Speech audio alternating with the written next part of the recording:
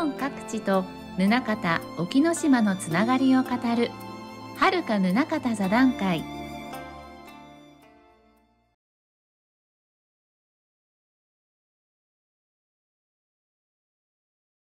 まあ、あの先ほどお話しした通り、まあ、出雲の地域とそれから、まあ、九州の北の方といいますか、まあ、宗像も含めてですね、えー、非常に古くから深い関係があったのはもう間違いないと思うんですね、えー、やっぱり日本海でつながってるっていうのはすごく大きくて、まあ、日本海を介した交流っていうのがあまあ古くからずっと続いてきた、まあ、例えばですね、えー、本当に古いところで言うと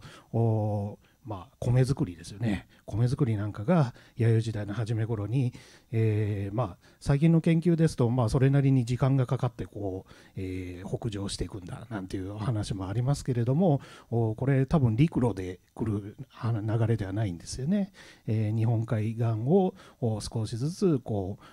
東の方へ北の方へ広がっていくで面白いのはその米作りってお米がたどり着けばそれで、えー、そのみんなが米作り始めるわけじゃないんですよね。えー、お米を作るためにはあまあ田んぼをきちんと整備して水を管理をして、えー、それをこう脱穀してでお米にしていかなきゃいけないからあそういう意味ではあいろんなものが、まあ、使われる道具であるとか技術とか全部がセットになって、えー、伝わっていくんですけれどもおそらく、まあ、山陰の地域、まあ、出雲も含めてですねここに、まあ、米作りが伝わってきたのもおそらく日本海を介して、えー、徐々に流れてきたその交流の中で来てるんだろうなっていうふうなことが言われています。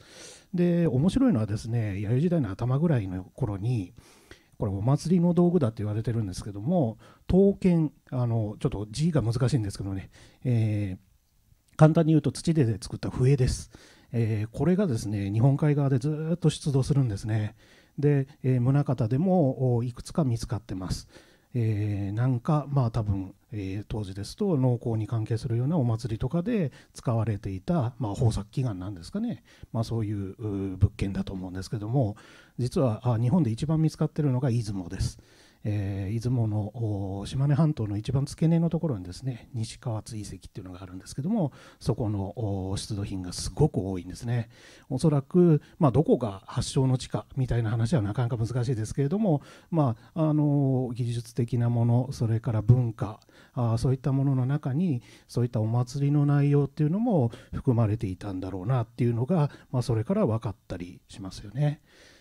それからまああの弥生時代朝鮮半島とのつながりもねあるので、えー、そういったものもおそらく海を介してですね、まあ、おそらく直接は来れないからあ九州の北部なんかを経由して出雲の方へもたらされてるんじゃないかなっていう考えられています。はい、ありがとうございます。そうですよね。あの日本海の交通海流で特に我々最近あの沖ノ島のこともですね海流とかそういう海の、えー、ことを考えて、えー、研究し直しましょうという流れでですねちょっと海流のこととかを大変あの重視してちょっと考えてるところなんですけども、えーと、そうするとやはりあの朝鮮半島に行く時もですねあの行く時は結構対馬暖流があって大変なんですけども帰りはですねあのあそこにも今地図出てますけど帰りは対馬暖流に乗るとスーッと帰ってこれるとじゃないかというような考え方あ割と割とそういう考え方なんですが、えー、できてでそのあの流れっていうのはやはり宗像についたり、まあ、あるいは山口県の西部角島とかですね向津半島とかいろいろだーっと流れて出雲に、えー、行ってっていうような形でですね、あのああるのでですね、まあ、今は、ね、やはりなかなかですね鉄道とかが発達発達というかなんですかね主要なルートになってないので、えー、意識がですねあんまりいかなかったりもしますけどやはりあそこはまあ、ずっとですけども北陸以降を含めてずっとですけども、えー、江戸時代ぐらいまではですねずっとメインルートと言っていいようなあところだったと私は強く思ってまして、まあ、できればですね先ほど車で福岡からあの 福岡まで来られると、えー、おっしゃってましたけど私もまあできれば宗像福岡からですねまあ、車で日本海側を行くのが一番ですねあの、まあ、高速の方が早いですけども、まあ、あ趣あるかなと、え、思っているところです。えー、でもそれとも関係があるんですけども、まあ、先ほどさいあの写真ありましたように出雲大社あですよね出雲大社の立地っていうのもやはりその海と関係してるとこにあるように思うんですけども、えー、いかがでしょうか？そうですね。あの出雲大社って非常に面白いところにあって、えーまあ、先ほど写真がちょっとねあの向きはあ陸の方からでしたけれどもあれ海の方から眺めるとおそらく先ほどお話ししたような本当に大きなあ社があったのであれば海から非常によくわかる、えー、そういう立地条件なんですね、まあ、いわゆる砂州ですね。あの砂浜のところに、えー、作られてる、えー、そういうことがあります。ともう一つはですね島根半島の西側にあるんですよね。なのでちょうどこう海流が対馬からの方から流れてくる海流を受けるようなところに、えー、まあ、この大社が建てられているということなんで、まあ、あの実際に来やすいというところもあるかもしれません。今あ出雲に来られるとですね平野が広がってるんですけれども実はもともとはそこは入り海だったところなんですね、えー、近代、えー、近世になってからあ、まあ、山の方でたたら製鉄なんかをやるので土砂がたくさん流れてきて埋まったところが大部分です。なので、えー、特に、まあ、私が専門にしている弥生時代などはあかなり大きな入り海があ西側の方へ開けていて日本海とつながっている、まあ、そういったところだからこそ人々があ行き来するにはちょうどよくて、まあ、船も入りやすくて、まあ、交易もしやすかったということが多分一番大きな背景としてですねあの出雲大社があの地にあるっていう流れにつながってるんだろうろうなというふうに考えています。はい、ありがとうございます。そうなんですよね。あの地形がですね、やっぱりその流れをキャッチするようなところにあるんですよね、出雲大社。えー、それでいくと、宗像もですね、あの津屋崎の方の、えー、旧入海っていうのがかなり流れをキャッチするようなところにありまして、まあ、だからそういう海外朝鮮半島からとか、まあ、あともっと西の北もの1回宗像のところが1回キャッチしてですね。そこから北に行くと、まあ、出雲でもう1回キャッチされてですね。あとまた北陸の方に行くと能登半島の付け根の白衣の辺りでやはり同じような地形が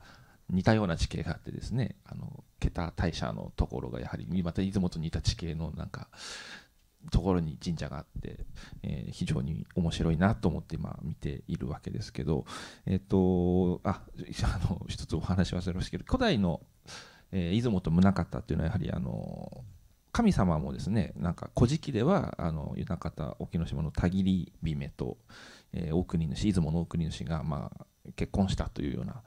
えー、記載があったりあのその他なんていうんですかねつくしとあの大国主じゃなくて、出雲国蔵の国宮津公のですね祖先がつくしに行って留守にしていたとかですね、まあ、そういう記載が、えー、あってやはりそういう交流関係っていうのはやはりその文献の方にも見え隠れ、えー、しているのかなと、えー、思っております。でもう一個だけですね、あの気になってるのはやっぱ出雲ではないんですけど出雲の、えー、東隣にあります今は米子市ですよね米子のところにあの延期式の式内社の宗像神社。要するに古代から間違いなく存在した宗像神社というのが、まあ、米子の方にあって、まあ、そこもおそらくこう海がちょっと入り込んでたんだと思うんですが、まあ、その辺も含めてですね出雲ツアーにですね、えー行かれてみ、えー、てはいかがかなと思いますしあの先ほど紹介あったように不土器があるというのがやっぱり出雲のえー、歴史古代史的には一番の強みというか面白みで古代のこの山が神様がいたあの神ナビ山だとかそういう記載があってその山がどれだっていうのが、まあ、分かったり分からなかったりしますけどそういうのを実際に今言って眺められるっていうんですね古代人の景から同じような景観を見てあ古代人はここに神様いると思ったんだなとかそういうことも見られるっていうのがやっぱ出雲のすごいところだなと思って。おりまして、えー、また行きたいなと思っております。何か最後ありますか？すみません。いやいや、あの本当にその通りなので、ぜひお越しいただけるとね、いろいろ新たな発見がまたあると思いますんで、あの来られたことある方あの、たくさんいらっしゃるかもしれませんけどね、どんどんあの研究も進んでますんでね、ぜひ、えーお越しいただきたいなと思います。ありがとうございます。